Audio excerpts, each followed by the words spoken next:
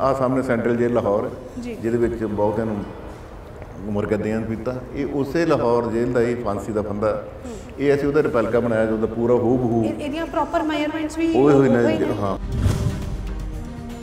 ਇਸੇ ਹੀ ਫਾਂਸੀ ਦੇ ਫੰਦੇ ਤੇ ਕਰਤਾਰ ਸਿੰਘ ਸਰਾਭਾ ਜੀ। ਤੇ ਉਹਨਾਂ ਦੇ ਗਦਰੀ ਸਾਥੀ ਫਾਂਸੀ ਲੱਗੇ ਸੀ ਪਹਿਲੇ ਲਾਹੌਰ ਕਨਸਪੀਰੇਸੀ ਕੇਸ ਦੇ ਵਿੱਚ। ਬਹੁਤ ਸਾਰੇ ਹੋਰ ਗਦਰੀ ਵੀ ਸੀ। ਕਿ ਖੁਸ਼ਕਿਸਮਤ ਨਾਲ ਉਹ ਜਗ੍ਹਾ ਉਹੀ ਮਿਲ ਗਈ ਜਿੱਥੇ ਖੂਹ ਸੀ। ਅੱਛਾ ਜੀ। ਫਿਰ ਇਹ ਖੂਹ ਥੱਲੇ ਨਿਕਲਿਆ ਇਹ ਉਸੇ ਖੂਹ ਦੀਆਂ ਇੱਟਾਂ ਨੇ। ਫਿਰ ਜਦੋਂ ਹੌਲੀ ਹੌਲੀ ਪੁੱਟਿਆ ਤੇ ਸਕਾਲਸ ਖੋਪਰੀਆਂ ਇਹ ਸਾਰੀਆਂ ਇਸ ਤਰ੍ਹਾਂ ਸਿੱਧੇ ਸੀ ਥੱਲੇ ਨੂੰ ਬਹੁਤੇ। ਮਤਲਬ ਜਿਵੇਂ ਉਹਨਾਂ ਨੂੰ ਸੁੱਟਿਆ ਸੀਗਾ ਉਸੇ ਤਰੀਕੇ ਦੇ ਹਾਂ। ਨਾਲ ਸਕਲਸ ਪਏ ਪਰ ਸੀ ਕਈਆਂ ਦੇ ਹੱਥਾਂ 'ਚ ਪੈਸੇ ਸੀ ਬ੍ਰੈਸਲੇਟ ਸੀ ਮੁੰਦੀਆਂ ਸੀ ਕੋਹੂ ਜੋ ਫੌਜੀਆਂ ਕੋਲ ਸੀ। ਉਹ ਸਾਰਾ ਉੱਥੇ ਸਮਾਨ ਨਿਕਲਿਆ। ਇਹ ਛੋਟਾ ਜਿਹਾ ਪਾਰਟ ਲੈਂਦਾ ਵਾ।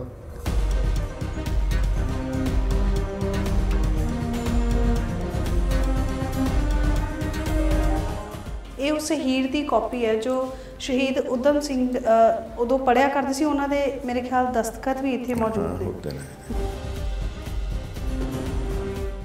ਬਹੁਤ ਬਹੁਤ ਮਾੜੀਆਂ ਹਾਲਾਤਾਂ ਦੇ ਵਿੱਚ ਸੀ ਸਜ਼ਾਵਾਂ ਦਿੰਦੇ ਸੀ। ਆ ਜਿਸ ਤਰ੍ਹਾਂ ਉੱਥੇ ਤੁਹਾਨੂੰ ਪਤਾ ਕਿ ਸਮੁੰਦਰ ਤੇ ਨਾਰੀਅਲ ਬਹੁਤ ਹੈ। ਜੀ। ਫਿਰ ਉਹ ਨਾਰੀਅਲ ਤੋੜਨ ਦੀਆਂ ਸਜ਼ਾਵਾਂ ਦਿੰਦੇ ਸੀ। ਇਸ ਤਰ੍ਹਾਂ ਨਾਰੀਅਲ ਤੋੜਨੇ। ਫਿਰ ਉਸ ਨਾਰੀਅਲ ਦੇ ਵਿੱਚੋਂ ਤੇਲ ਕੱਢਣ ਲਈ ਕੋਲੂ ਗੇੜਨਾ। ਤੇ ਉਸੇ ਤਰ੍ਹਾਂ ਫਿਰ ਜਿੱਦਾਂ ਕੋਈ ਨਹੀਂ ਸੀ ਮੰਨਦਾ ਤੇ ਟਿਕ ਟਿਕੀ ਹੁੰਦੀ ਸੀ ਇੱਕ ਫਰੇਮ ਹੁੰਦਾ ਜਿਹਦੇ ਨਾਲ ਬੰਨ ਕੇ ਤੇ ਕੋੜੇ ਮਾਰਦੇ ਸੀ ਪਰ ਅੰਮ੍ਰਿਤਸਰ ਦੇ ਨਾਲ ਇੱਕ ਚੱਬਾ ਪਿੰਡ। ਇਹ 1915 ਦੇ ਵਿੱਚ ਉੱਥੇ ਇੱਕ ਬੇਲੀ ਰਾਮ ਸ਼ਾਹੂਕਾਰ। ਜਿਹੜਾ ਕਾਫੀ ਸੂਦਖੋਰ ਸੀ ਪੈਸੇ ਦੀ ਉਦੋਂ ਗਦਰੀਆਂ ਨੂੰ ਹਥਿਆਰਾਂ ਦੀ ਲੋੜ ਸੀ ਜੀ ਤੇ ਉਸ ਵੇਲੇ ਉਹਨਾਂ ਨੇ ਇਹਨੂੰ ਲੁੱਟਿਆ ਸੀ ਉਹਦੇ ਘਰੋਂ ਤੇ ਅੱਛਾ ਇਹ ਉਸ ਵੇਲੇ ਉਸ ਵੇਲੇ ਉਹਦੀ ਆਪਣੀ। ਸੀ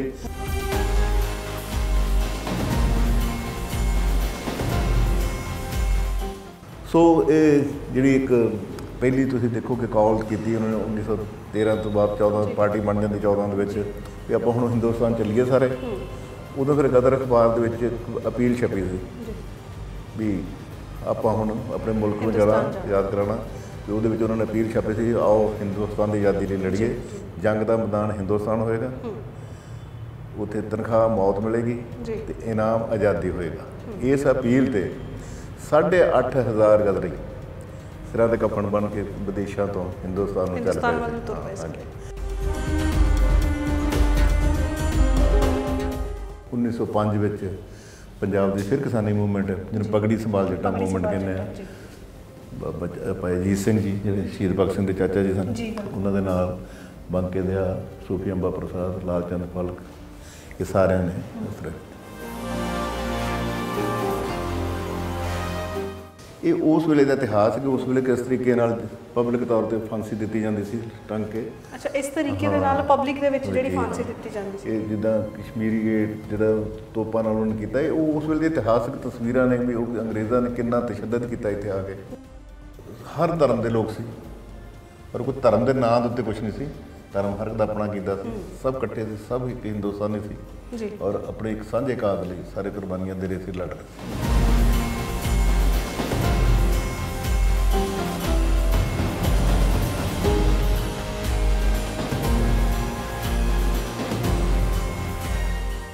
ਅੱਜ ਦਾ ਪ੍ਰੋਗਰਾਮ ਬਹੁਤ ਜ਼ਿਆਦਾ ਖਾਸ ਹੋਣ ਵਾਲਾ ਕਿਉਂਕਿ ਅੱਜ ਦੇ ਪ੍ਰੋਗਰਾਮ ਦੇ ਵਿੱਚ ਅਸੀਂ ਤੁਹਾਨੂੰ ਗਦਰ ਲਹਿਰ ਦੇ ਨਾਲ ਵਾਕਫ ਕਰਵਾਵਾਂਗੇ ਕਿ ਕਿਸ ਤਰੀਕੇ ਦੇ ਨਾਲ ਗਦਰ ਲਹਿਰ ਤੁਰੀ ਸੀਗੀ, ਗਦਰੀ ਬਾਬੇ ਕੌਣ ਸਨ? ਤੇ ਜਿੱਥੇ ਲਾਹੌਰ ਦੇ ਵਿੱਚ ਭਗਤ ਸਿੰਘ ਹੋਣਾ ਨੂੰ ਤੇ ਗਦਰੀ ਬਾਬਿਆਂ ਨੂੰ ਫਾਂਸੀ ਦੀ ਸਜ਼ਾ ਦਿੱਤੀ ਗਈ ਸੀਗੀ, ਤੇ ਉਸੇ ਤਰੀਕੇ ਦੇ ਨਾਲ ਹੂ ਬਹੂ ਇੱਥੇ ਵੀ ਜਿਹੜੀ ਜੇਲ੍ਹ ਬਣਾਈ ਗਈ ਹੈ ਹੂਬਹੂ ਉਹੀ ਕਟਆਊਟਸ ਇੱਥੇ ਮੌਜੂਦ ਨੇ। ਸਾਰੀ ਗੱਲਬਾਤ ਕਰਾਂਗੇ। ਮੇਰੇ ਨਾਲ ਇਸ ਵਕਤ ਗੁਰਮੀਤ ਸਿੰਘ ਜੀ ਮੌਜੂਦ ਨੇ। ਕੀ ਗਦਰੀ ਬਾਬਿਆਂ ਦਾ ਇਤਿਹਾਸ ਰਹਿ ਚੁੱਕਾ ਹੈ? ਕਿਵੇਂ ਗਦਰੀ ਬਾਬੇ ਬਣੇ ਸਨ? ਕਿਉਂਕਿ ਅੱਜ ਕੱਲ ਲੋਕਾਂ ਨੂੰ ਪਤਾ ਹੀ ਨਹੀਂ ਹੈ ਕਿ ਗਦਰੀ ਬਾਬੇ ਸੀਗੇ ਕੌਣ। ਮੇਰੇ ਨਾਲ ਗੁਰਮੀਤ ਸਿੰਘ ਜੀ ਮੌਜੂਦ ਨੇ। ਸਰ ਬਹੁਤ ਬਹੁਤ ਸਵਾਗਤ ਹੈ। ਜੀ। ਸਰ ਸਭ ਤੋਂ ਪਹਿਲਾਂ ਇਹੀ ਗੱਲਬਾਤ ਕਰਦੇ ਹਾਂ ਕਿ ਗਦਰੀ ਬਾਬੇ ਸੀਗੇ ਕੌਣ? ਇਹਨਾਂ ਦੀ ਸ਼ੁਰੂਆਤ ਕਿਵੇਂ ਹੋਈ? ਗਦਰ ਲਹਿਰ ਦੀ ਸ਼ੁਰੂਆਤ ਕਿਵੇਂ ਹੋਈ ਸੀਗੀ? ਸ਼ਗਨ ਜੀ ਗਦਰ ਪਾਰਟੀ ਤੇ ਗਦਰ ਲਹਿਰ ਇੱਕ ਉਹ ਇਤਿਹਾਸ ਹੈ ਜਿਹੜਾ ਸਿਰਫ ਹਿੰਦੁਸਤਾਨ ਦੀ ਆਜ਼ਾਦੀ ਲਹਿਰ ਦੇ ਵਿੱਚ ਹੀ ਜ਼ਿਆਦਾ ਕੋਈ ਯੋਗਦਾਨ ਨਹੀਂ ਜੀ।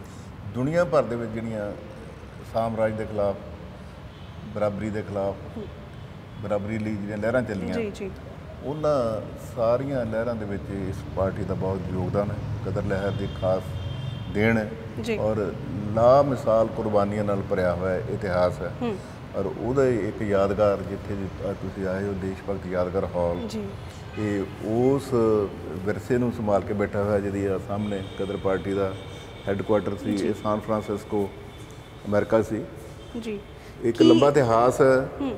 ਜਦੋਂ ਪੰਜਾਬ ਦੇ ਵਿੱਚ ਪੰਜਾਬ ਸਭ ਤੋਂ ਅਖੀਰਲਾ ਸੂਬਾ ਸੀ ਅੰਗਰੇਜ਼ਾਂ ਦੇ ਕਬਜ਼ੇ 'ਚ ਆਉਣ ਵਾਲਾ। ਜੀ। ਮਹਾਰਾਜਾ ਰਣਜੀਤ ਸਿੰਘ ਦੀ ਡੈਥ ਤੋਂ ਬਾਅਦ। ਤੇ ਉਸ ਤੋਂ ਬਾਅਦ ਅੰਗਰੇਜ਼ਾਂ ਨੇ ਉਹ ਜਿਹੜੀ ਸਤਲੁਜ ਵਾਲੀ ਟ੍ਰੀਟੀ ਤੋੜ ਕੇ ਪੰਜਾਬ ਤੇ ਕਬਜ਼ਾ ਕੀਤਾ।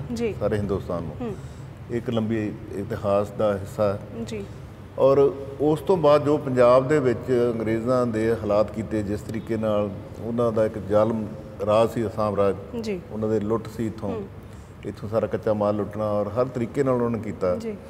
ਉਹਦੀ ਹਾਲਾਤਾਂ ਦੇ ਵਿੱਚ ਜਿਹੜੀ ਕਿਸਾਨੀ ਬਹੁਤ ਪ੍ਰਭਾਵਿਤ ਹੋਈ। ਜਿੱਦਾਂ ਮਾਲੀਆ ਲੱਗਾ ਇਹ ਉਹ ਇਸ ਤੰਗ ਆਉਣ ਤੋਂ ਬਾਅਦ ਜਿਹੜੇ ਲੋਕਾਂ ਨੇ ਕੁਝ ਉਹਨਾਂ ਨੇ ਫੌਜ ਭਰਤੀ ਕਰਕੇ ਵੀ ਲੜਾਏ। ਜੀ। ਕੁਝ ਉਹਨਾਂ ਨੇ ਮਾਲੀਏ ਨੇ ਲਾਤੇ ਵੀ ਉਹਨਾਂ ਦੀ ਰੋਟੀ ਖਾਣੀ ਔਖੀ ਸੀ। ਜੀ। ਸੋ ਰੋਜ਼ਗਾਰ ਤੇ ਚੰਗੀ ਰੋਜ਼ੀ ਰੋਟੀ ਦੀ ਪਾਲ ਦੇ ਵਿੱਚ ਉਸ ਵੇਲੇ ਇਹ ਵਿਦੇਸ਼ਾਂ ਨੂੰ ਜਿਹੜੇ ਗਏ ਰੁਝਾਨ ਜੀ। ਉਸ ਵੇਲੇ ਤੇ ਕਮਾਈਆਂ ਕਰਨ ਗਏ ਸੀ। ਬਿਲਕੁਲ। ਪਰ ਜਦੋਂ ਇਹਨਾਂ ਨੇ ਬਾਹਰ ਅਮਰੀਕਾ ਕੈਨੇਡਾ ਦੇ ਵਿੱਚ ਜਾ ਕੇ ਦੇਖਿਆ ਵੀ ਆਜ਼ਾਦ ਇੱਕ ਗੁਲਾਮ ਮੁਲਕ ਦਾ ਕੀ ਫ਼ਰਕ ਹੈ? ਤੇ ਇਹਨਾਂ ਦੇ ਮਨ ਦੇ ਵਿੱਚ ਉਹ ਜਿਗਿਆਸਾ ਪੈਦਾ ਹੋਈ ਕਿ ਆਪਾਂ ਦਾ ਸਭ ਤੋਂ ਪਹਿਲਾ ਫਰਜ਼ ਕਿ ਹਿੰਦੁਸਤਾਨ ਨੂੰ ਆਪਣੇ ਮੁਲਕ ਨੂੰ ਸਾਮਰਾਜੀ ਜੁਲੇ ਤੋਂ ਮੁਕਤ ਕਰਾਉਣਾ। ਜੀ। ਤੇ ਗਦਰ ਦੀ ਗੂੰਜ ਦੀ ਗੱਲ ਕਰੀਏ ਗਦਰ ਦੀ ਗੂੰਜ ਅਸਲ ਦੇ ਵਿੱਚ ਕੀ ਹੈ? ਇਹ ਬੇਟੇ ਜਿੱਦਾਂ ਬਾਬਾ ਸੋਹਣ ਸਿੰਘ ਪਕਨਾ ਹੋਣੀ ਉੱਥੇ। ਸਾਰੇ ਕੰਮ ਕਰਦੇ ਸੀ। ਇਹਨਾਂ ਨੇ ਹਾਲਾਤਾਂ ਦੇ ਵੇਖ ਕੇ ਦੱਸਿਆ ਵੀ ਇੱਕ ਮੈਂ ਤੈਨੂੰ ਕੱਟ ਸੰਖੇਪ ਦੇ ਵਿੱਚ ਦੱਸ ਰਿਹਾ ਜਦੋਂ ਇਹ ਪੈਦਾ ਹੋਇਆ ਵੀ ਉਹਦੇ ਲਈ ਇੱਕ ਜਥੇਬੰਦੀ ਦੀ ਲੋੜ ਸੀ। ਜੀ। ਉਹ ਜਥੇਬੰਦੀ ਪਹਿਲਾਂ ਮੀਟਿੰਗਾਂ ਹੋਣੀਆਂ ਗੁਰਦੁਆਰੇ ਬਣੇ ਸਾਰੇ ਦੇ ਕਦੋਂ ਕੁ ਹੁੰਦੀਆਂ ਰਹੀਆਂ। ਬਹੁਤ ਥਾਵਾਂ ਤੇ ਇਹ- ਇਹ 1900 ਤੋਂ ਹੀ ਚੱਲ ਪਿਆ ਸੀ ਕੰਮ ਜਦੋਂ ਬਾਹਰ ਸਾਡੇ ਗਏ ਨੇ। ਜੀ। ਇਹ ਕਰਦਿਆਂ ਕਰਾਉਂਦਿਆਂ ਸਾਰਾ ਕੁਝ ਜਿਹੜਾ ਹਿੰਦੁਸਤਾਨ ਪੈਸੀਫਿਕ ਐਸੋਸੀਏਸ਼ਨ ਬਣੀ। ਜੀ। ਬਾਬਾ ਸੋਹਣ ਸਿੰਘ ਪਕਨਾ ਦਾ ਬਹੁਤ ਵੱਡਾ ਰੋਲ ਇਹਦੇ ਵਿੱਚ। ਉਸ ਤੋਂ ਪਹਿਲਾਂ। ਬਾਬਾ ਵਿਸਾਖਾ ਸਿੰਘ ਬਾਬਾ ਜਵਾਲਾ ਸਿੰਘ ਇਹਨਾਂ ਦੇ ਉੱਥੇ ਫਾਰਮ ਸੀ। ਦੇ ਵਰ ਨੋਨ ਐਜ਼ ਪੋਟੈਟੋ ਕਿੰਗ ਜਿਨ੍ਹਾਂ ਨੇ ਵੱਡੇ ਸੀ। ਇਹਨਾਂ ਨੇ ਹੀ ਬਾਬਾ ਜਵਾਲਾ ਸਿੰਘ ਉਹਨਾਂ ਨੇ ਕਰਤਾਰ ਸਿੰਘ ਸਰਾਭਾ ਉਹਨਾਂ ਨੂੰ ਸੱਦਿਆ ਸੀ। ਤੇ ਲਾਲਾ ਹਰਦਿਆਲ ਜੁੜੇ ਇੱਕ ਇੱਕ ਇਤਿਹਾਸ ਵੱਡਾ ਹੈ। ਜੀ।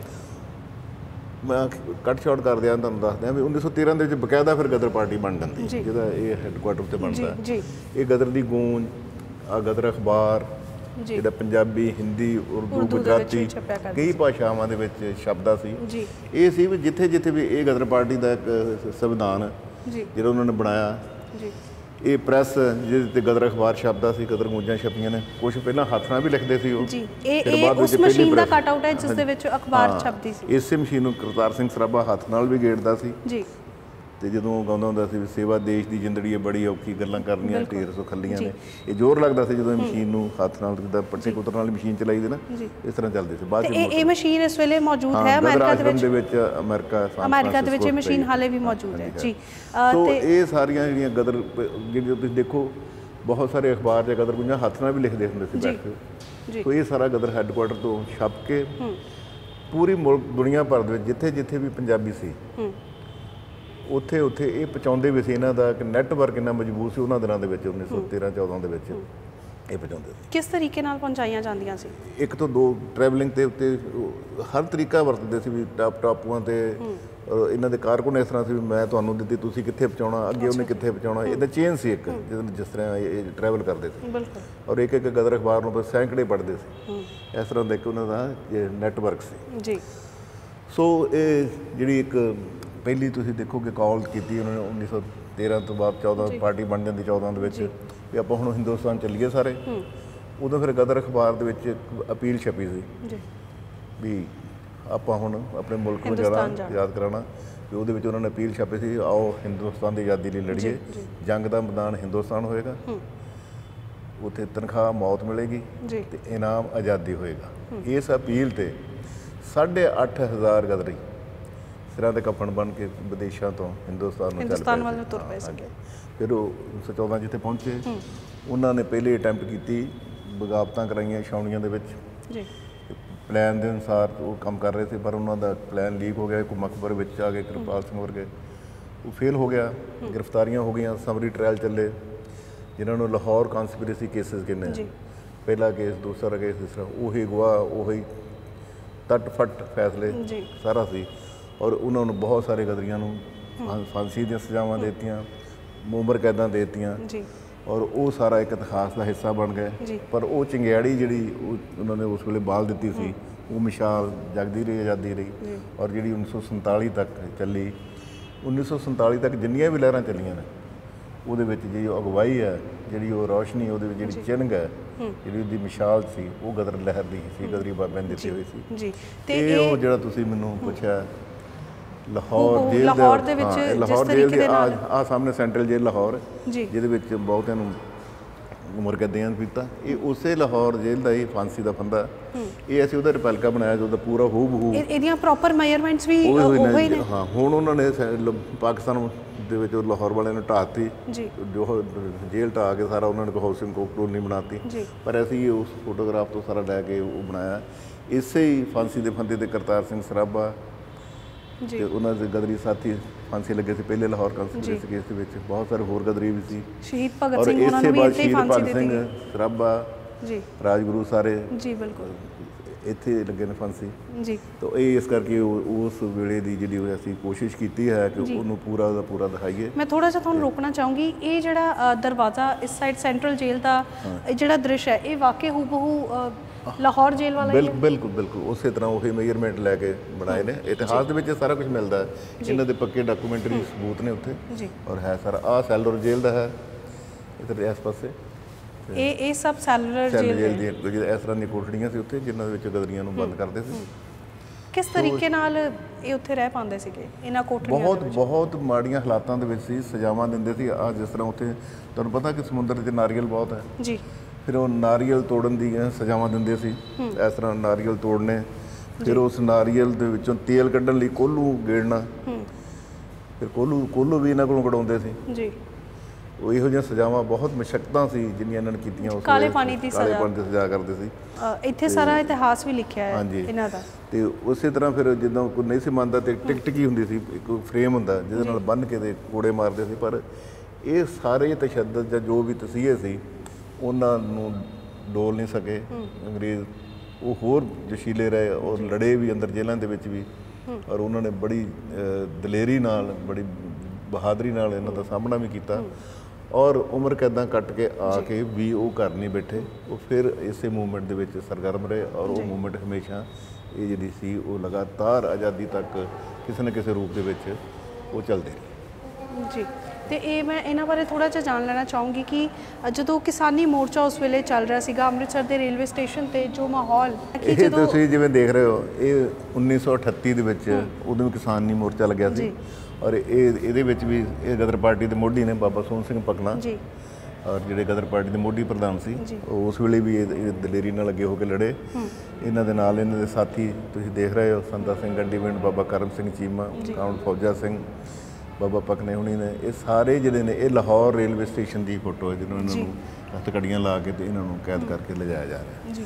ਇਹ ਇਹ ਤੁਹਾਨੂੰ ਜਿਵੇਂ ਕਹਿ ਰਿਹਾ ਵੀ ਆਜ਼ਾਦੀ ਤੱਕ ਤੇ ਉਸ ਤੋਂ ਬਾਅਦ ਵੀ ਅੱਜ ਤੱਕ ਵੀ ਜਿੰਨੀਆਂ ਲੜਾਈਆਂ ਸਾਮਰਾਜ ਦੇ ਖਿਲਾਫ ਜਾਂ ਲੁੱਟ ਖਸੁੱਟ ਦੇ ਖਿਲਾਫ। ਨਾ ਬਰਾਬਰੀ ਲਈ ਦੇ ਖਿਲਾਫ ਇੱਕ ਖੁਸ਼ਹਾਲ ਸੁਸਾਇਟੀ ਲਈ ਲੜੀਆਂ ਜਾ ਰਹੀਆਂ ਨੇ।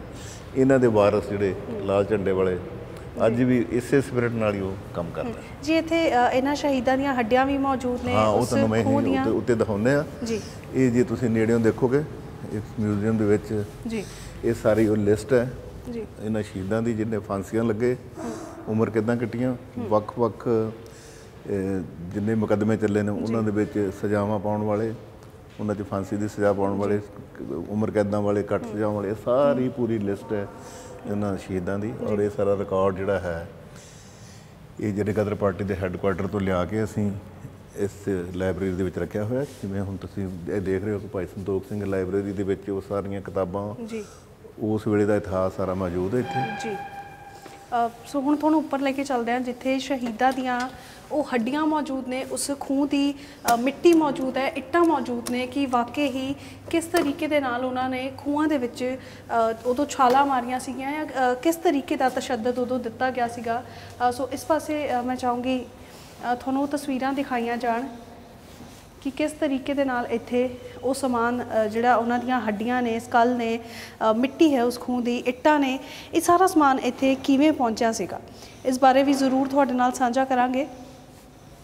ਕਿ ਕਿਸ ਤਰੀਕੇ ਦੇ ਨਾਲ ਜਿਹੜੇ ਗਦਰੀ ਬਾਬੇ ਸਨ ਕੀ ਮਾਹੌਲ ਸੀਗਾ ਉਸ ਵੇਲੇ? ਕਿਵੇਂ ਇਹ ਜਿਹੜੀਆਂ ਹੱਡੀਆਂ ਉਹਨਾਂ ਦੇ ਜਿਹੜੇ ਸਕਲ ਨੇ ਇੱਥੇ ਪਹੁੰਚੇ ਨੇ ਗੁਰਮੀਤ ਜੀ ਕੋਲੋਂ ਹੀ ਜਾਣਦੇ ਆ ਗੁਰਮੀਤ ਜੀ ਇਹ ਸਭ ਕਿਵੇਂ ਇੱਥੇ ਪਹੁੰਚਿਆ? ਸ਼ਗਨ ਮੈਂ ਤੁਹਾਨੂੰ ਇਹਨਾਂ ਬਾਰੇ ਵੀ ਦੱਸਦਾ ਜੀ। ਪਰ ਇਸ ਤੋਂ ਪਹਿਲਾਂ ਤੁਹਾਨੂੰ ਇਹਦੀ ਮਿਊਜ਼ੀਅਮ ਦੇ ਜਿਹੜੀ ਆਪਾਂ ਸ਼ੁਰੂਆਤ ਕਰਦੇ ਜੀ। ਜਿਵੇਂ ਮੈਂ ਤੁਹਾਨੂੰ ਪਹਿਲਾਂ ਦੱਸਿਆ ਵੀ ਇਸ ਤਰ੍ਹਾਂ ਇੱਥੇ ਜਦ ਅੰਗਰੇਜ਼ ਪੰਜਾਬ ਆਇਆ ਪੰਜਾਬ ਉਹ ਸੂਬਾ ਜਿਹੜਾ ਸਭ ਤੋਂ ਅਖੀਰ 'ਚ ਅੰਗਰੇਜ਼ਾਂ ਦੇ ਕਬਜ਼ੇ 'ਚ ਆਇਆ ਜੀ। ਔਰ ਉਹ ਉਹ ਜਗ੍ਹਾ ਸੂਬਾ ਹੈ ਜਿਹਨੇ ਸਭ ਤੋਂ ਪਹਿਲਾਂ ਅੰਗਰੇਜ਼ਾਂ ਦੇ ਖਿਲਾਫ ਉਸੇ ਦਿਨ ਤੋਂ ਹੀ ਅੱਛਾ ਜੀ। ਬਗਾਵਤ ਸ਼ੁਰੂ ਕੀਤੀ। ਜੀ। ਔਰ ਇਹ ਉਸ- ਇਤਿਹਾਸ ਦੇ ਜਦੋਂ। ਅੰਗਰੇਜ਼ ਪੰਜਾਬ ਆਉਂਦਾ ਤਾਂ। ਉਸੇ ਦਿਨ ਤੋਂ ਹੀ ਪੰਜਾਬ ਦੇ ਵਿੱਚੋਂ ਉਹਨਾਂ ਦੇ ਖਿਲਾਫ ਇੱਕ ਜੰਗ ਸ਼ੁਰੂ ਹੋ ਜਾਂਦੀ। ਜੀ। 1848 49 ਭਾਈ ਮਹਾਰਾਜ ਸਿੰਘ ਉਹਨੂੰ ਲੀਡ ਕਰਦੇ ਨੇ। ਜੀ।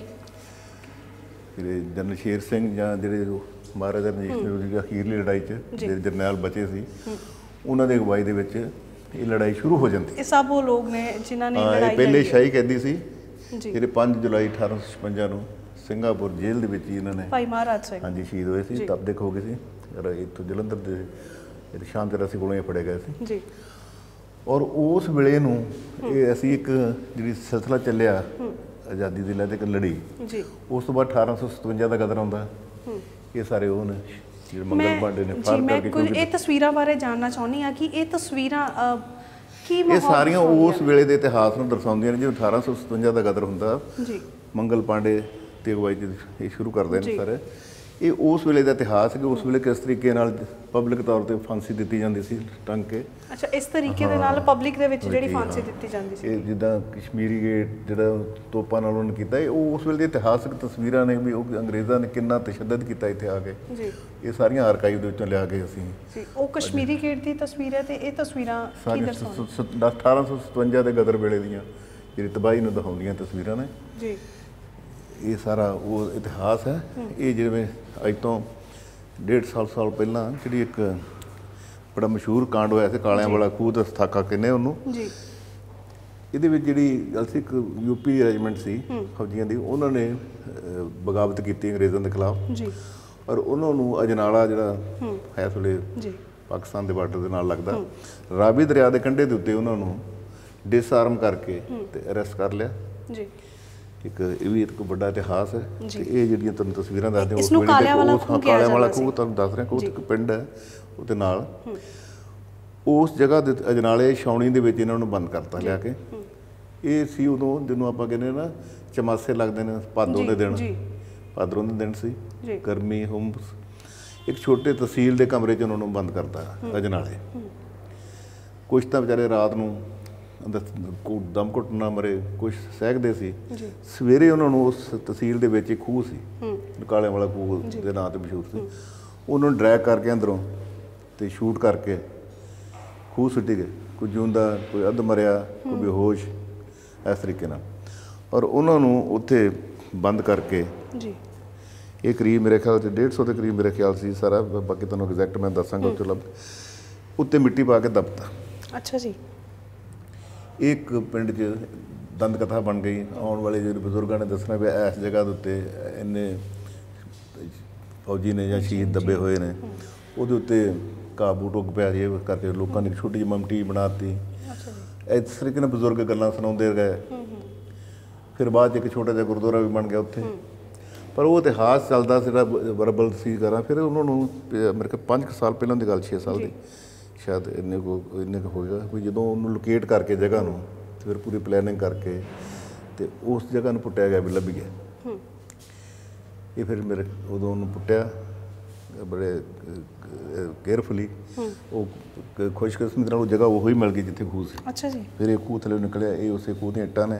ਫਿਰ ਜਦੋਂ ਹੌਲੀ ਹੌਲੀ ਪੁੱਟਿਆ ਤੇ ਸਕਲਜ਼ ਖੋਪਰੀਆਂ ਇਹ ਸਾਰੀਆਂ ਇਸ ਤਰ੍ਹਾਂ ਸਿੱਧੇ ਸੀ ਥੱਲੇ ਨੂੰ ਬਹੁਤੇ। ਅੱਛਾ ਮਤਲਬ ਜਿਵੇਂ ਉਹਨਾਂ ਨੂੰ ਸੁੱਟਿਆ ਸੀਗਾ ਉਸੇ ਤਰੀਕੇ ਦੇ ਹਾਂ, ਨਾਲ ਸਕਲਸ ਪਏ ਪਰ ਸਨ ਕਈਆਂ ਦੇ ਹੱਥਾਂ 'ਚ ਪੈਸੇ ਸੀ ਬ੍ਰੈਸਲੇਟ ਸੀ ਮੁੰਦੀਆਂ ਸੀ ਕੋਹੂ ਜੋ ਫੌਜੀਆਂ ਕੋਲ ਸੀ।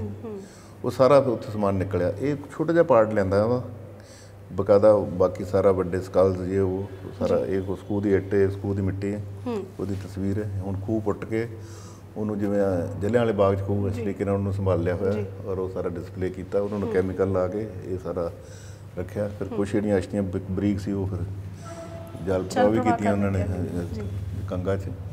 ਸੋ ਇਹ ਇੱਕ ਉਸ ਇਤਿਹਾਸ ਦਾ ਵੀ ਇੱਕ ਕਾਂਡ ਹੈ ਕਿ ਜਿਹੜਾ ਅੱਜ ਵੀ ਪ੍ਰੇਰਨਾ ਦਿੰਦਾ ਵੀ ਕਿੰਨੀਆਂ ਕੁਰਬਾਨੀਆਂ ਇਹਨਾਂ ਸ਼ਹੀਦਾਂ ਨੇ ਸਾਡੇ ਲਈ ਦਿੱਤੀਆਂ ਨੇ ਇਸ। ਮੁਲਕ ਨੂੰ ਆਜ਼ਾਦ ਕਰਾਉਣ ਲਈ। ਇਸੇ ਤਰ੍ਹਾਂ ਅਸੀਂ ਅੱਗੇ ਚੱਲਦੇ ਹੁੰਦੇ ਹਾਂ। 1857 ਤੋਂ ਬਾਅਦ ਵਿੱਚ ਫਿਰ 1872 ਚ ਨਾਮਧਾਰੀ ਮੂਵਮੈਂਟ ਚੱਲਦੀ ਹੈ ਜਿਹਨੂੰ ਅਸੀਂ ਕੂਕਾ ਮੂਵਮੈਂਟ ਕਹਿੰਦੇ ਹਾਂ। ਜੀ। ਭਾਈ ਬਾਬਾ ਰਾਮ ਸਿੰਘ ਜੀ ਦੀ ਅਗਵਾਈ ਦੇ ਵਿੱਚ।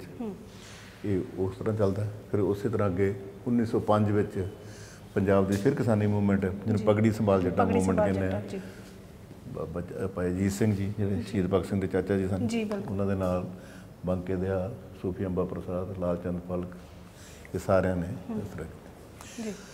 ਇਸ ਲੜੀ ਦੇ ਵਿੱਚ ਹੀ ਫਿਰ ਅੱਗੇ ਇਤਿਹਾਸ ਚੱਲਦਾ ਹੁੰਦਾ। ਤੇ ਫਿਰ 1900 ਜਿਹੜੇ ਹੈਗੇ ਆਪਣੇ ਇਹ 12 ਦੇ ਵਿੱਚ ਜਿਹਨੂੰ ਇੱਕ ਬਹੁਤ ਵੱਡਾ ਕੈਪੀਟਲ ਸੀ ਲਾਹੌਰ ਜਿਹੜਾ ਚਾਂਦਨੀ ਚੌਂਕ ਦੇ ਵਿੱਚ ਹੋਇਆ ਸੀ ਜਿਹਨੂੰ ਹਾਰਡਿੰਗ ਬੰਬ ਕੇਸ ਕਹਿੰਦੇ ਆ। ਜੀ। ਲਾਰਡ ਹਾਰਡਿੰਗ ਆਪਣੇ ਇੱਥੇ ਹਿੰਦੁਸਤਾਨ ਦੇ ਵਿੱਚ ਕਬਜ਼ੇ ਦੀ ਖੁਸ਼ੀ ਦੇ ਵਿੱਚ ਜਲੂਸ ਕੱਢਿਆ ਜਾ ਰਿਹਾ ਸੀ ਉਹਨਾਂ ਦਾ। ਤੇ ਇਹਨਾਂ ਨੇ ਉੱਤੇ ਬੰਬ ਸੁੱਟਿਆ ਸੀ ਸਾਡੇ ਜਨ ਬਸੰਤ ਕੁਮਾਰ ਅਬਦ ਬਿਹਾਰੀ ਮਾਤਾ ਮੀਰ ਚੰਦ ਭਾਈ ਅਵਧ ਇਹ ਸਾਰੇ ਉਸ ਵੇਲੇ ਸੀ ਔਰ ਇਹਨਾਂ ਨੂੰ ਫਾਂਸੀ ਲੱਗੀ। ਉਸ ਵੇਲੇ ਵੀ ਜਿਹੜਾ ਇਹ ਜਦੋਂ ਇਹਨਾਂ ਨੂੰ ਸਜ਼ਾ ਹੋਈ ਫਾਂਸੀ ਦੀ 11 ਮਈ 1915 ਨੂੰ ਜੀ। ਉਦੋਂ ਗਦਰ ਪਾਰਟੀ ਬਕਾਇਦਾ ਬਣ ਚੁੱਕੀ ਸੀ ਗਦਰ ਅਖਬਾਰ ਨਿਕਲਦਾ ਸੀ। ਜੀ। ਔਰ ਗਦਰ ਅਖਬਾਰ ਨੇ ਇੱਕ ਵਿਸ਼ੇਸ਼ ਅੰਕ ਕੱਢਿਆ ਸੀ ਕਿ ਅੱਜ ਖੁਸ਼ੀ ਦਾ ਦਿਨ ਹੈ ਕਿ ਹਿੰਦੁਸਤਾਨ ਦੀ ਆਜ਼ਾਦੀ ਦੀ ਲਹਿਰ ਦੇ ਵਿੱਚ ਜਿਹੜੇ ਪਹਿਲੇ ਇਹ ਸ਼ਹੀਦ ਹੋਏ ਨੇ। ਜੀ। ਫਿਰ ਜਿਵੇਂ ਮੈਂ ਤੁਹਾਨੂੰ ਪਹਿਲਾਂ ਦੱਸਿਆ ਵੀ 14 15 ਦੇ ਵਿੱਚ ਜਿਹੜਾ ਭਾਵੇਂ ਜਿਹੜਾ ਆਜ਼ਾਦ ਆਜ਼ਾਦੀ ਲੈਣ ਲਈ ਜਿਹੜਾ ਸਭ ਤੋਂ ਪਹਿਲਾ ਹਮਲਾ ਸੀ ਗਦਰੀਆਂ ਦਾ। ਬ੍ਰਿਟਿਸ਼ ਸਾਮਰਾਜ ਨੂੰ ਖਤਮ ਕਰਨ ਦਾ। ਜੀ। ਬੇਸ਼ੱਕ ਉਹ ਫੇਲ ਹੋਇਆ। ਉਹ ਆਪਣੇ ਜਿਹੜਾ ਸਾਡਾ ਟਾਰਗੇਟ ਸੀ ਉੱਥੇ ਤੱਕ ਨਹੀਂ ਪਹੁੰਚ ਪਰ ਉਹ ਸ਼ੁਰੂਆਤ ਕਿਹੋ ਜੀ ਸੀ ਵੀ ਜਿਹੜੀ ਆਜ਼ਾਦੀ ਤੱਕ ਚੱਲੀ। ਬਿਲਕੁਲ। ਇਹ ਉਸ ਤੋਂ ਬਾਅਦ ਅਸੀਂ ਇਹਨੂੰ ਕਲਾਸੀਫਾਈ ਇਸ ਤਰ੍ਹਾਂ ਕੀਤਾ ਵੀ ਜਿਹੜਾ ਫਸਟ ਲਾਹੌਰ ਕਨਸਪੀਰੇਸੀ ਕੇਸ ਦੇ ਵਿੱਚ ਇਹ ਫਾਂਸੀ ਲੱਗੇ ਸੀ। ਜੀ। ਇਹ ਸੱਤੇ ਹੀ ਆਪਾਂ ਕਰਤਾਰ ਸਿੰਘ ਸਰਾਭਾ ਦਾ ਸਾਰਿਆਂ ਨੂੰ ਨਾਮ ਪਤਾ। ਜੀ। ਪਰ ਇਹਨਾਂ ਦੇ ਨਾਲ ਹੀ ਵਿਸ਼ਨੂੰ ਗਣੇਸ਼ ਪਿੰਗਲੇ ਬਖਸ਼ੀਸ਼ ਸਿੰਘ ਗਿੱਲਵਾਲੀ ਭਾਈ ਸਰੈਣ ਸਿੰਘ ਛੋਟਾ ਵੱਡਾ ਭਾਈ ਜਗ ਸਿੰਘ ਸੁਰ ਸਿੰਘ ਇਹ ਸਾਰੇ ਸੱਤ ਬੰਦਿਆਂ ਨੂੰ ਇਕੱਠਿਆਂ ਨੂੰ ਜੀ। ਫਾਂਸੀ ਲੱਗੀ ਸੀ। ਤੇ ਇਸ ਤਰ੍ਹਾਂ ਅਸੀਂ ਇਸ ਨੂੰ ਅੱਗੇ ਸੈਕੰਡ ਕੇਸ ਫਿਰ ਜਿਹੜੇ ਇਹਦੀ ਉਮਰ ਕੈਦੀ ਇਸ ਤਰ੍ਹਾਂ ਚੱਲਿਆ ਹੁੰਦਾ। ਤੇ ਇਹਦੇ ਬਾਰੇ ਹੁੰਦਾ ਜਦੋਂ ਗਦਰ ਪਾਰਟੀ ਦਾ ਇੱਕ ਇਹ ਤਜੋਰੀ ਅੰਮ੍ਰਿਤਸਰ ਦੇ ਨਾਲ ਇੱਕ ਚੱਬਾ ਪਿੰਡ ਇਹ 1915 ਦੇ ਵਿੱਚ ਉੱਥੇ ਇੱਕ ਬੇਲੀ ਰਾਮ ਸ਼ਾਹੂਕਾਰ ਸੀ। ਜਿਹੜਾ ਕਾਫੀ ਸੂਦਖੋਰ ਸੀ ਪੈਸੇ ਦੇ। ਤੇ ਉਦੋਂ ਗਦਰੀਆਂ ਨੂੰ ਵੀ ਹਥਿਆਰਾਂ ਦੀ ਲੋੜ ਸੀ। ਜੀ। ਤੇ ਉਸ ਵੇਲੇ ਉਹਨਾਂ ਨੇ ਇਹਨੂੰ ਲੁੱਟਿਆ ਸੀ ਉਹਦੇ ਘਰੋਂ। ਤੇ ਅੱਛਾ ਉਸ ਵੇਲੇ ਉਸ ਵੇਲੇ ਉਹਦੀ ਆਪਣੀ ਸੀ ਹੁਣ ਪਿੱਛੇ 10-12 ਸਾਲ ਦੀ ਗੱਲ ਵੀ ਉਹ ਹਵੇਲੀ ਉਹਦੇ ਪੋਤਰਿਆਂ ਦੇ ਪੜਪੋਤਰਿਆਂ ਨੇ ਢਾਹ ਕੇ ਨਵਾਂ ਘਰ ਬਣਾਇਆ। ਜੀ। ਤੇ ਉਹਨਾਂ ਨੇ ਫਿਰ ਇੱਥੇ ਪੇਂਟ ਕਰਤੀ ਵੀ ਇਹ- ਇਹਦੇ ਨਾਲ ਗਦਰੀ ਇੱਕ ਸ਼ਹੀਦ ਵੀ ਹੋਏ ਸੀ। ਇਹ ਉਸ ਵੇਲੇ ਦੀਆਂ ਯਾਦਾਂ ਅਸੀਂ ਇਕੱਠੀਆਂ ਕਰ ਰਹੇ ਹਾਂ। ਉਸ ਇਤਿਹਾਸ ਦੀਆਂ। ਵੀ ਕਿਵੇਂ ਇਹਨਾਂ ਨੇ ਉਸ ਉਸ ਵੇਲੇ ਮੁਲਕ ਨੂੰ ਆਜ਼ਾਦ ਕਰਾਉਣ ਲਈ। ਔਰ ਨਾਲ ਦੀ ਨਾਲ ਸਾਰੀ ਦੁਨੀਆ ਭਰ ਵਿੱਚ ਵੀ ਜਿਹੜੇ ਮੁਕਤੀ ਸੰਘਰਸ਼ ਚੱਲ ਰਹੇ ਸੀ ਉਹਨਾਂ ਦੀ ਮਦਦ ਕੀਤੀ। ਇਸ ਤਰ੍ਹਾਂ ਅਸੀਂ ਇਹ ਸਾਰੇ ਲੜੀ ਨੂੰ ਚੱਲਦੇ ਹੁੰਦੇ ਹਾਂ। ਜੀ। ਇਹ ਇਹਦੇ ਵਿੱਚ ਤਕਰੀਬਨ ਜਿਹੜੀ ਕੋ ਸਾਡੇ ਕੋਲ ਹੁਣ ਤਾਂ ਕੋਸ਼ਿਸ਼ ਕਰ ਰਹੇ ਲੱਭਣ ਦੀ ਹੈ ਤਾਂ ਬਹੁਤ ਸਾਰੇ ਨੇ। ਪਰ ਜਿੰਨੀਆਂ ਵੀ ਸਾਨੂੰ ਉਹਨਾਂ ਦੀਆਂ ਤਸਵੀਰਾਂ ਜ਼ਿਆਦਾ ਆਰਕਾਈਵ 'ਚ ਮਿਲ ਰਹੀਆਂ ਨੇ। ਇਹ- ਕੁਝ ਜਿਹੜੇ ਸਾਨੂੰ ਆਰਟਿਸਟ ਬਣਾ ਕੇ ਦੇ ਦਿੰਦੇ ਨੇ ਦੁਰਗਾ ਭਾਬੀ ਦਾ ਪੁੱਤ ਸ਼ਹੀਦ ਭਗਤ ਸਿੰਘ ਦਾ ਪੁੱਤ ਜੀ। ਰਾਜਗੁਰੂ ਸੁਖਦੇਵ। ਜੀ ਇੱਥੇ ਉਹ ਹੀਰ ਵੀ ਮੌਜੂਦ ਹੈ ਜਿਹੜੀ ਇਹ ਜਿਵੇਂ ਤੁਹਾਨੂੰ ਮੈਂ ਦੱਸਿਆ ਕਿ ਪਹਿਲਾ ਜਿਹੜਾ ਹਮਲਾ ਸੀ ਜਦੋਂ ਫੌਜੀਆਂ ਨੇ ਬਗਾਵਤ ਕੀਤੀ ਦਫਤਰ ਲక్ష్ਮਣ ਸਿੰਘ ਸ਼ੂਸਲੇਵਾੜ ਇਹਨਾਂ ਦੀ ਅਗਵਾਈ ਦੇ ਵਿੱਚ ਜੂਨੀਅਰ ਜੈਕ ਲਾ ਕੇ ਵਾਇਸਰਾਏ ਨੂੰ ਕਤਲ ਕਰਕੇ ਤੇ ਜੀ। ਗਦਰਪਾੜ ਦੇ ਝੰਡੇ ਦਾ ਕਰਕੇ ਕਰਨਾ ਸੀ ਇਹ ਸਾਡੀ ਪਲਾਨ ਸੀ ਔਰ ਬਹੁਤ ਸਾਰੇ ਫੌਜੀ ਉਸ ਵੇਲੇ ਜਿਹੜੇ ਫੜੇ ਗਏ ਫਾਂਸੀਆਂ ਵੀ ਲੱਗੇ ਔਰ ਉਮਰ ਕਿਦਾਂ ਵੀ ਹੋਈਆਂ। ਸੋ ਇਹ ਫਿਰ ਦੌਰ ਜਿਹੜਾ ਸੀ 17 ਤੱਕ ਇੱਕ ਵਾਰ ਜਿਵੇਂ ਕੁਝ ਫਾਂਸੀਆਂ ਲਾਤੇ ਕੁਝ ਉਮਰ ਕੈਦਾਂ 'ਚ ਚਲੇ ਗਏ। ਇਹਨੂੰ ਅਸੀਂ ਪਹਿਲਾ ਦੌਰ ਕਹਿੰਦੇ ਹਾਂ ਦਾ। ਉਸ ਤੋਂ ਬਾਅਦ ਫਿਰ ਰੀਆਰਗੇਨਾਈਜ਼ ਹੁੰਦਾ ਜਲਿਆਂਵਾਲੇ ਬਾਗ ਦੀ ਘਟਨਾ ਹੁੰਦੀ। ਔਰ ਫਿਰ ਦੁਬਾਰਾ ਜਿਹੜਾ ਦੌਰ ਉਹਨੂੰ ਅਸੀਂ ਗਦਰ ਪਾਰਟੀ ਦਾ ਸੈਕੰਡ ਫੇਜ਼ ਕਹਿੰਦੇ ਆ ਜਿਹਦੇ ਵਿੱਚ ਕਿਰਤੀ ਪਾਰਟੀ ਬਣਦੀ ਹੈ। ਕਿਰਤੀ ਅਖਬਾਰ ਨਿਕਲਦਾ ਰੀਆਰਗੇਨਾਈਜ਼ ਹੋ ਕੇ ਫਿਰ ਉਹ ਚੱਲਦੇ ਨੇ। ਇਹ ਜਿਹੜੀਆਂ ਤਸਵੀਰਾਂ ਤੁਸੀਂ ਦੇਖ ਰਹੇ ਹੋ ਸਾਰੀਆਂ ਇੱਥੋਂ ਇਹ ਸੈਕਸ਼ਨ ਅਸੀਂ ਦੂਸਰੇ ਦੇ ਵਿੱਚ ਹੈ ਨੇ ਇਹ ਪ੍ਰੋਮੀਨੈਂਟਲੀ ਉਹਨਾਂ ਸੂਰਬੀਰਾਂ ਦੀਆਂ ਫੋਟੋ ਨੇ ਜਿਨ੍ਹਾਂ ਨੇ ਉਸ ਵੇਲੇ ਲਹਿਰ ਦੀ ਅਗਵਾਈ ਕੀਤੀ ਔਰ ਇਹਦੀ ਕੰਟੀਨਿਊਟੀ ਨੂੰ ਗਦਰ ਪਾਰਟੀ ਨੂੰ ਬਰਕਰਾਰ ਰੱਖਿਆ। ਕਿਰਤੀ ਲਹਿਰ ਤੇ ਕਿਰਤੀ ਅਖਬਾਰ ਤੇ ਹੋਰ ਬਹੁਤ ਸਾਰੇ ਜਿਹੜੇ ਉਸ ਵੇਲੇ ਪੈਂਫਲੇਟ ਅਖਬਾਰ ਲਿਟਰੇਚਰ ਇਹ ਛਾਪ ਕੇ ਪ੍ਰਚਾਰ ਲਈ ਜਿਹੜਾ ਸੀ ਲੋਕਾਂ ਨੂੰ ਲਾਮਬੰਦ ਕਰਦੇ ਸੀ। ਇਹ ਸਾਰਾ ਉਸ ਵੇਲੇ ਨੂੰ ਦਰਸਾਉਂਦਾ ਔਰ ਇਸ ਸੈਕਸ਼ਨ ਦੇ ਵਿੱਚ ਇੱਕ ਦੁਆਬੇ ਦੇ ਵਿੱਚ ਖਾਸ ਕਰਕੇ ਉਹ ਜ਼ਿਆਦਾ ਇੱਕ ਬਬਰ ਮੂਵਮੈਂਟ ਚੱਲੀ ਸੀ। ਜੀ। ਜ਼ਿਆਦਾ ਮੇਨਲੀ ਤਾਂ ਉਹਨਾਂ ਦੇ ਜਿਹੜੇ ਬ੍ਰਿਟਿਸ਼ ਟਾਊਟ ਸੀ ਉਹਨਾਂ ਨੂੰ ਵੀ ਉਹ ਸੋਧਦੇ ਸੀ। ਤੇ ਉਹਨਾਂ ਦਾ ਇੱਕ ਬਹੁਤ ਵੱਡਾ ਹਿੱਸਾ ਇਹ ਸਾਰੀਆਂ ਤਸਵੀਰਾਂ ਉਹਨਾਂ ਬਾਬਰਾਂ ਦੀਆਂ ਨੇ ਜਿਨ੍ਹਾਂ ਨੇ ਉਸ ਵੇਲੇ ਉਸ ਵੇਲੇ ਦੀ ਅਗਵਾਈ ਕੀਤੀ। ਜਿਹੜਾ ਇਹ ਇੱਕ ਇਹ ਮੈਂ ਥੋੜਾ ਜਿਹਾ ਦੱਸ ਦੇਣਾ ਚਾਹੂੰਗੀ ਦਰਸ਼ਕਾਂ ਨੂੰ ਕਿ ਇਹ ਉਸ ਹੀਰ ਦੀ ਕਾਪੀ ਹੈ ਜੋ ਸ਼ਹੀਦ ਉਦਮ ਸਿੰਘ ਉਦੋਂ ਪੜਿਆ ਕਰਦੇ ਸੀ ਉਹਨਾਂ ਦੇ ਮੇਰੇ ਖਿਆਲ ਦਸਤਖਤ ਵੀ ਇੱਥੇ ਮੌਜੂਦ ਨੇ। ਜੀ ਇਹ ਦਸਤਖਤ ਉਹਨਾਂ ਨੇ ਮੌਜੂਦ ਇਹ ਅਸਲ 'ਚ ਨਾ ਜਦੋਂ ਉਹਨਾਂ ਨੇ ਜਨਰਲ ਡਵਾਇਰ ਨੂੰ ਕਤਲ ਕਰਨ ਤੋਂ ਬਾਅਦ ਜਦੋਂ ਉਹਨਾਂ ਨੂੰ ਜੇਲ੍ਹ ਹੋ ਗਈ ਜੀ। ਤੇ ਜੇਲ੍ਹ ਦੇ ਵਿੱਚ ਕਿਤਾਬਾਂ ਮੰਗਾਉਂਦੇ ਹੁੰਦੇ ਸੀ ਪੜ੍ਹਦੇ ਸੀ ਤੇ ਆਪਣਾ ਟਾਈਮ ਪਾਸ ਲਈ ਵੀ ਸਮਝ ਲਓ ਵੀ ਇੱਕ ਹੀਰ ਉਹਨਾਂ ਨੂੰ ਮੰਗਾਉਂਦੇ ਪੜ੍ਹਦੇ ਹੁੰਦੇ ਸੀ ਜੀ, ਮੰਗਾਉਂਦੇ ਵੀ ਸੀ। ਜੀ। ਤੇ ਇਹ ਫਿਰ ਕਾਪੀ ਉਹਨਾਂ ਦੀ ਜਿਹੜੀ ਮੌਤ ਦੀ ਸਜ਼ਾ ਤੋਂ ਬਾਅਦ ਇਹ ਉਹਨਾਂ ਕੁਝ ਦੇ ਇੱਕ ਪੰਨੇ ਦੋਸਤ ਨੇ ਹਾਂ। ਨਹੀਂ ਇਹ ਤਕਰੀਬਨ ਸਾਰੀ ਓਰੀਜਨਲ ਉਹ ਹੀਰ ਜਿਹੜੀ ਉਹ ਉਹਨਾਂ ਦੀ ਪਰਸਨਲ ਸੀ। ਜੀ। ਪੜ੍ਹਦੇ ਹੁੰਦੇ ਸੀ। ਤੇ ਫਿਰ ਉਹਨਾਂ ਦੇ ਇੱਕ ਦੋਸਤ ਸਨ ਉੱਥੇ ਕਰਮ ਬਾਬਾ ਕਰਮ ਸਿੰਘ ਚੀਮਾ। ਜੀ। ਉਹਨਾਂ ਦੇ ਪਿਤਾ ਸੀ ਬਾਬਾ ਕਰਮ ਬਾਬੂ ਕਰਮ ਸਿੰਘ। ਜੀ। ਉਹਨਾਂ ਕੋਲ ਸੀ। ਕੁਝ ਜਿਹੜਾ ਸਮਾਨ ਉਹਨਾਂ ਕੋਲ ਆਇਆ। ਇਹ ਫਿਰ ਉਹ ਸਾਡੇ ਮਿਊਜ਼ੀਅਮ ਲਈ ਦੇਖਣ ਇਹ ਉਹਨਾਂ ਦੇ ਸ਼ਹੀਦ ਸ਼ਹੀਦ ਉਦਮ ਸਿੰਘ ਉਹਨਾਂ ਦੇ ਜੀ, ਦਸਤਖਤ ਨੇ ਉੱਤੇ। ਉਹਨਾਂ ਦੇ ਦਸਤਖਤ ਮੌਜੂਦ ਇਸ ਤਰ੍ਹਾਂ ਦੀਆਂ ਹੀ ਚੀਜ਼ਾਂ ਜਿਹੜੀਆਂ ਉਹਨਾਂ ਨਾਲ ਸੰਬੰਧਿਤ ਨੇ ਸੰਭਾਲਦੇ ਆ। ਜੀ। ਔਰ ਜਦੋਂ ਇਹ ਕਿਰਤੀ ਮੂਵਮੈਂਟ ਦੇ ਨਾਲ ਜਿਹੜਾ ਦੌਰ ਸੀ ਵੀ ਜਦੋਂ ਸੋਵੀਅਤ ਯੂਨੀਅਨ 'ਚ ਇਨਕਲਾਬ ਹੁੰਦਾ ਜੀ। ਹੈ ਉਸ ਤਰ੍ਹਾਂ ਦਾ ਉਸ ਵੇਲੇ ਇਹਨਾਂ ਦੇ ਲਿੰਕ ਉਹਨਾਂ ਨਾਲ ਬਣਦੇ ਨੇ। ਉਸ ਇਨਕਲਾਬ ਦਾ ਵੀ ਇਹਨਾਂ ਤੇ ਅਸਰ ਹੁੰਦਾ ਵੀ ਕਿਹੋ ਜਿਹੀ ਸੁਸਾਇਟੀ ਹੋਣੀ ਚਾਹੀਦੀ ਹੈ ਜੇ ਸਭ ਬਰਾਬਰ ਹੋਣ ਜੀ। ਸਭ ਕੁਝ ਹੋਣ। ਤੇ ਇਹ ਮੈਂ ਤੁਹਾਨੂੰ ਇੰਟਰਸਟਿੰਗ ਗੱਲ ਦੱਸਦਾ ਕਿ ਭਾਈ ਹਰਜਾਤ ਸਿੰਘ ਰਾਮ ਸਿੰਘ ਕਿਸ਼ਨ ਵੀ ਜੀ। ਬਾਬਾ ਅਛਰ ਸਿੰਘ ਸ਼ੀਨਾ ਕਰਨ ਸਿੰਘ ਦੂਰ ਇਹ ਤਿੰਨੋਂ ਹੀ ਇੱਥੋਂ ਪੈਦਲ ਵਾਇਆ ਅੰਮ੍ਰਿਤਸਰ ਤੋਂ ਕਾਬਲ ਲਾਹੌਰ ਮਾਸਕੋ ਗਏ ਸੀ।